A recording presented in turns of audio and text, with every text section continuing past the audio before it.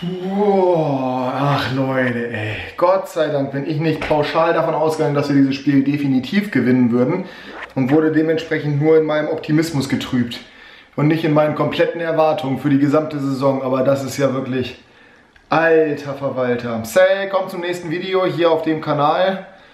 96 verliert 0 zu 3. Das ist eigentlich, kann ich, kann ich eigentlich nur lachen gegen Hansa Rostock zu Hause im ersten Heimspiel der Saison, nachdem wir letzte Woche Werder wirklich über weite Strecken hin nicht nur die Stirn geboten haben, sondern klar besser waren, das Ding hätten gewinnen müssen, kommt jetzt ein Aufsteiger nach Hannover und nimmt uns komplett hops. Das ist, äh, ein, das ist ein Offenbarungseid gewesen. Gott sei Dank aber gleichzeitig auch für die ganzen ja, Desillusionierten, beziehungsweise für die, oder nee, das ist äh, falsche Begrifflichkeit, für die ganzen, auf Englisch heißt es deluded, aber ihr habt doch keine Ahnung. Für die ganzen Leute, die dachten, 96 wäre jetzt voll im Aufstiegsrennen dabei, direkt mal der Dämpfer. Es ist alles beim alten 96 spielt gegen große Gegner gut und gegen kleinere, kleinere, vermeintlich kleinere, wie ich so oft gesagt habe, Gegner ja, verkaufen sie sich wie jedes Mal absolut schlecht. Letzte Saison gegen Würzburg, bestes Beispiel, beide Spiele verloren, die sind sang- und klanglos abgestiegen. Für 96 hat es zweimal trotzdem gereicht. Jetzt kommt Hansa, die haben das erste Spiel 1 zu 3 gegen Karlsruhe verloren, zugegebenermaßen. Da waren sie auch schon nicht so schlecht.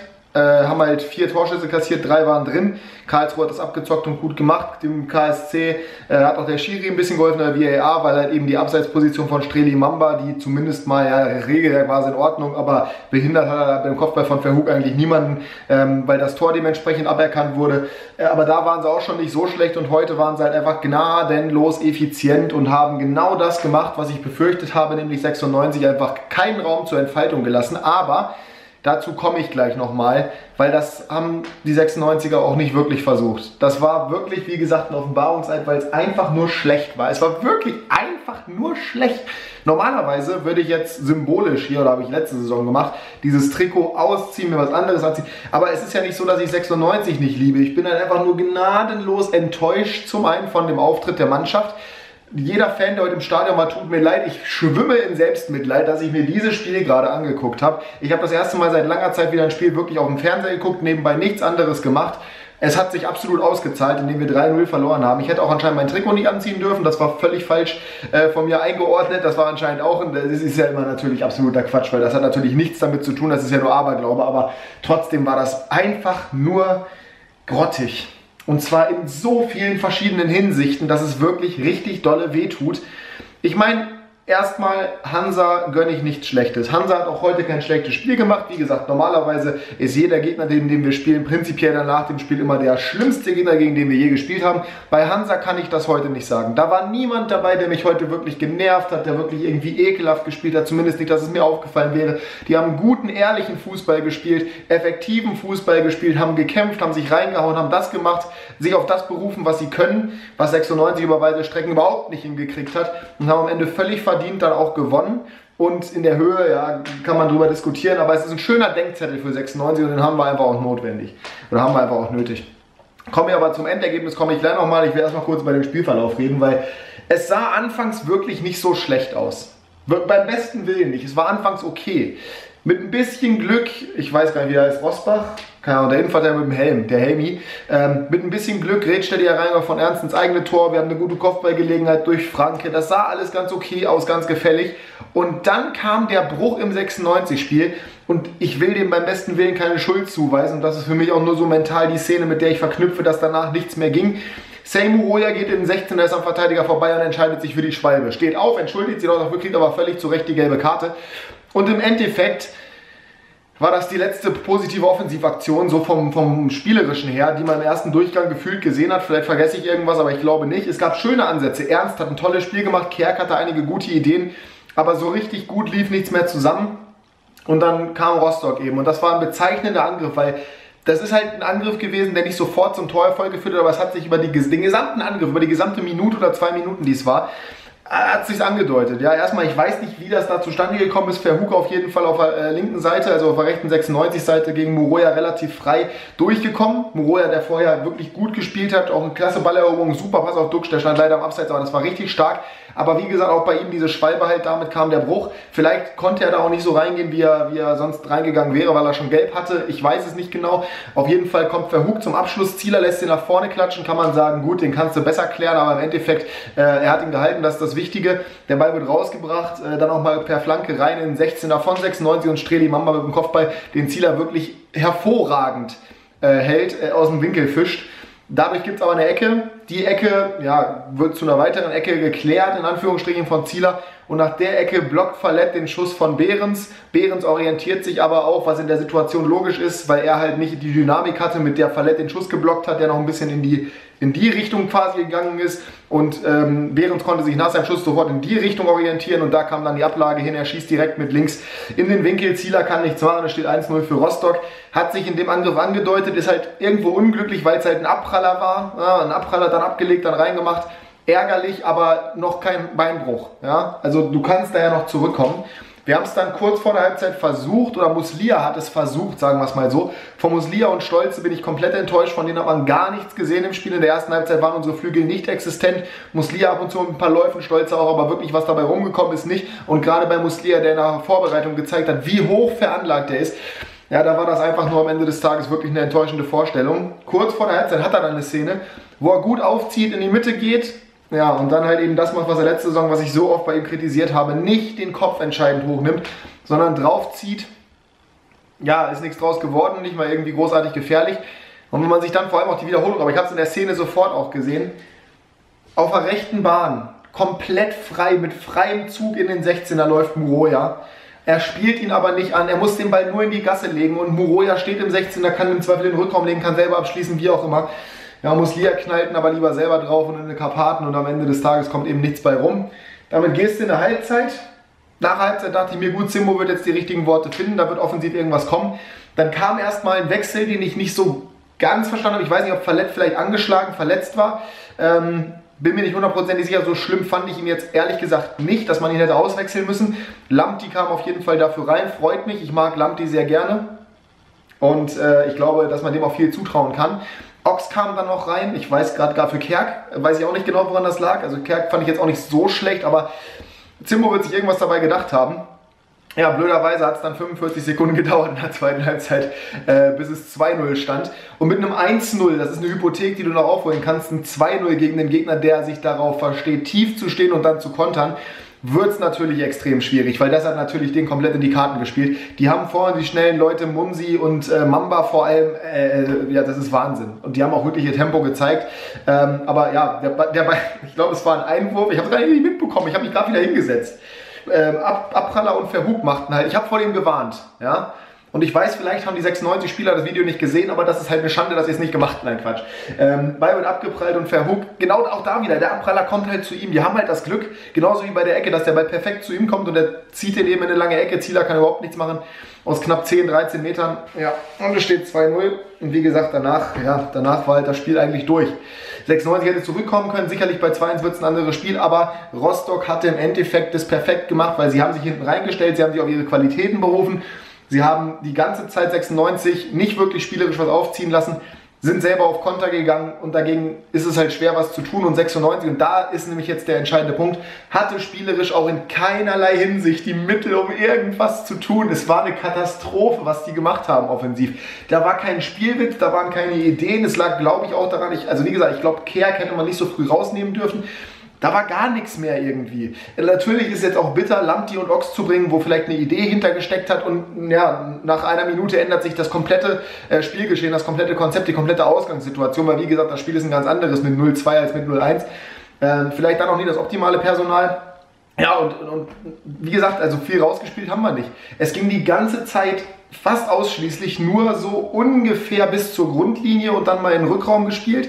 Es ging vielleicht mal bis zum 16er, aber alles Richtung Tor war entweder total ungefährlich, dazu komme ich gleich nochmal, weil zwei Großchancen gab es zumindest, total ungefährlich oder halt überhaupt, also ja, nicht zwingend einfach, ohne Willen wirklich mal in den 16er reinzugehen. Die flanken immer halb hoch auf den 16er oder viel zu weit nach hinten oder irgendwas und irgendwann hatten wir dann Weidand und Lamptey drin und selbst die Standards kamen dann nicht gut. Du musst die Standards doch nur hoch in die Mitte bringen, dass irgendeiner von den drei Kopfballstarken Spielern mit Franke, Weidand und Lamptey, die wir da haben, in irgendeiner Form zum Ball gehen kann. Bezeichnend, Duxch knallt den Ball, nachdem Kerk und Muslia dann am Ende auch raus waren, äh, auf die andere Außenlinie so gefühlt. Das ist halt wirklich qualitativ so schlecht und Standards sind nicht unsere größte Stärke, klar, aber müssten sie eigentlich sein bei dem Spielermaterial, was wir haben. Also mit Kerk und Muslia sehe ich da deutlich mehr Potenzial drin, ist auch klar, aber in der ersten Halbzeit war die dickste Chance, von der wir wirklich reden können, als äh, ja, Ernst mit dem linken Fuß aufs Tor knallt und der Ball abgefälscht wird und dabei platzt und dementsprechend noch komisch aufs Tor rollt und der Torwart gerade so noch die Hand hinbekommt. Keiner, ob das gezählt hätte bei geplatztem Ball, ich weiß es nicht, aber ja, am Ende des Tages war das wenig und in der zweiten Halbzeit wurde es halt nicht besser. Es gab eine Situation, wo Moroja den Ball nochmal, ja, also er versucht zu schießen. Erstmal war der Ball gut nach vorne gespielt von Muslia. Der hat von links abgebrochen, ist dann komplett nach hinten gegangen, hat dann aber einen ganz guten Ball nach vorne gespielt. Da war so ein bisschen schnelles Kombinationsspiel. Am Ende stand Weidand dann, hat den Ball ähnlich wie Benzema gegen die Schweiz bei der WM mitgenommen, mit der Hacke, mit der linken Hacke hinterm rechten Standbein. Konnte ihn dann aber nur ablegen auf Muroya, der hat geschossen, hatte nicht genug Drive hinter Dux, konnte noch einen Fuß reinhalten, aber auch nicht dolle. Ball ist aufs Tor gekullert. Und Kullabei konnten wir dann nochmal in einer späteren Situation, wo Suleimani auch eine dicke Gelegenheit hatte nach seiner Einwechslung, aber den Ball halt eben auch nur relativ schwach aufs Tor gebracht hat. Also alles, was 96 gemacht hat, war entweder Kindergarten im Spielaufbau, weil da nichts geklappt hat, weil da keine Kreativität war, weil da kein Zug zum Tor war, gar nicht der Wille. Gegen natürlich eng stehende Rostocker, die haben das hervorragend gemacht, das will ich nicht unterschlagen, aber der Anspruch sollte trotzdem sein, auch gegen solche Gegner in irgendeiner Form was bewegen zu können. Und wenn wir dann die Chance hatten, einen Abschluss zu kriegen, haben wir sie halt einfach nicht vernünftig aufs Tor gebracht. Nicht mit Wille, nicht mit Überzeugung, nicht mit Kraft. Und das ist halt bezeichnend, weil wie gesagt, es war halt ein Offenbarungseid, weil einfach die Kraft irgendwie gefehlt hat. Die Über Überzeugung, warum auch immer, keine Ahnung. Vielleicht, weil man sich teilweise in die letzte Saison versetzt hat oder versetzen hat lassen. Vielleicht auch, weil Rostock wirklich ein gutes Spiel gemacht hat, weil die Rostocker Fans total durchgedreht sind, wozu ich gleich auch nochmal kommen möchte.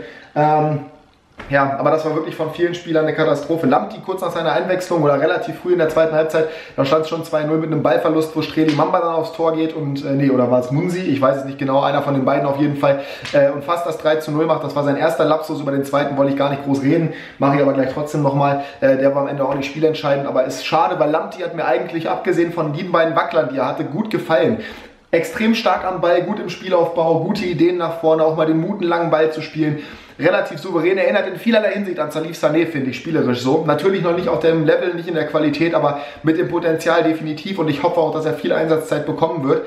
Blöderweise halt mit dem Lapsus und dann kurz vor Schluss nimmt dann Ball nicht richtig an, ja, im eigenen 16er. Ich weiß nicht, ob das Kommando gefehlt hat, dass er einen Hintermann hat, dass er eben nicht so viel Platz hat, wie er wahrscheinlich dachte. Verliert ihn dann ausgerechnet gegen den Ex-Blau-Gelben, gegen Nick Omladic und wie der den reinmacht, natürlich auch klasse. Super ärgerlich, macht das Ergebnis natürlich noch schlimmer. Am Ende des Tages war es dann sowieso gelaufen, 90 plus 3, da wäre nicht mehr viel gegangen. Für ihn aber natürlich super bitter, weil in meinen Augen eigentlich ein vielversprechender Spieler mit, mit super Potenzial, der auch nicht so einen schlechten Auftritt hingelegt hat. Ja, aber das macht es natürlich völlig kaputt, muss man einfach so sagen. Und ähm, ja, ich hoffe, das wird ihm nicht zu lange ja, im Kopf rumschwören. Weil, wie gesagt, spielentscheidend oder kriegsentscheidend war es dann auch nicht mehr. Ähm, ein bisschen weiter vorne fand ich dann aber, also, ähm, ich habe gerade schon mal gesagt, Kopf hochnehmen, äh, Florent Muslia, der heute wirklich im Vergleich zur Vorbereitung, im Vergleich zum Bremen-Spiel einen absoluten Katastrophentag hatte. Das war wieder der alte Flo Muslia, den ich immer ja, kritisiert habe, beziehungsweise den ich einfach nicht das zugetraut habe. Und das war heute wieder so ein Auftritt und dann, ich weiß nicht, welche Minute es war, 65., 70. Kommt ein langer Flugball und was macht der Junge? Anstatt den anzunehmen und irgendwie, ich meine, er kann ja aus der Distanz schießen, dann ballert ihn halt drauf oder nimm ihn an und mach irgendwas Vernünftiges damit. Er versucht ihn mit der Hacke weiterzuleiten den Flugball, ohne ihn anzunehmen oder irgendwas. Und natürlich landet der nicht im Ansatz bei Hult, der auch gar nicht auf dem Weg war, sondern landet beim Gegenspieler. Und das ist halt eine Katastrophe. Folgerichtig direkt danach, das fand ich auch sehr gut von Zimbo ausgewechselt worden, dem kam dann dafür rein. Aber da hat man halt schon gesehen, ey, das ist halt heute nichts mehr. Weidand dann irgendwann in der 85. oder sowas auch versucht, einen Ball auf der rechten Außenbahn mit der Hacke irgendwie in Lauf zu verlängern. Auch völlig schief gegangen, nicht mal im Ansatz zum Mitspieler. Wo ich mir auch denke, wirklich, Weidand ist es nicht seine Kernkompetenz und auch nicht sein, seine US, sein USP, also sein Unique Selling Point, dass er technisch in irgendeiner Form bewandert wäre. Beim besten Willen nicht. Der ist ein Brecher, der gehört in die Box und da musst du Flanken hinschlagen. Das hat nicht funktioniert. Die einzige Flanke, an die ich mich erinnern kann, die kam auf den 16, hat er versucht mit der Brust abzulegen. Eine gab es noch, da hat er im Zweikampf, ist er dann irgendwie mit dem Rostocker zusammengestoßen, aber der Keeper hatte den Ball sowieso runtergefischt. Äh, ich laber hier 14 Minuten und am Ende des Tages steht einfach nur, wir haben ein schlechtes Spiel gemacht. Wir haben gut angefangen, wir haben aber nicht den notwendigen Zug gehabt. Wir haben zwei unglückliche Gegentore sicherlich kassiert. Wir haben auch nicht, wir haben nicht dramatisch schlecht gespielt, aber halt einfach komplett ohne spielerische Überzeugung und ohne spielerische Mittel, die es gebraucht hätte. Wir waren nicht gut genug, um das aufzuholen. Wir haben nicht das schlechteste Spiel gemacht, was ich hier bei 96 gesehen habe, aber gut war es beim besten Willen auch nicht in keinerlei Hinsicht. Das kann man auch nicht verteidigen, weil am Ende steht ein 0 zu 3. Ja, und jetzt muss es gegen Dresden halt besser werden. Was ein Faktor war, was mich persönlich sehr genervt hat, die Rostocker Fans sind natürlich in einem Block, die sind auf einem Haufen, die sind extrem laut, die sind auch stark, man kennt ja die Rostocker Fans. 96 war relativ versammelt. Aber das Einzige, was ich von den 96-Fans im ganzen Spiel gehört habe, beziehungsweise in der zweiten Halbzeit nach dem 0 zu 2, das Einzige, wo sie mal kurz lauter waren als die Rostocker war, Kind muss weg.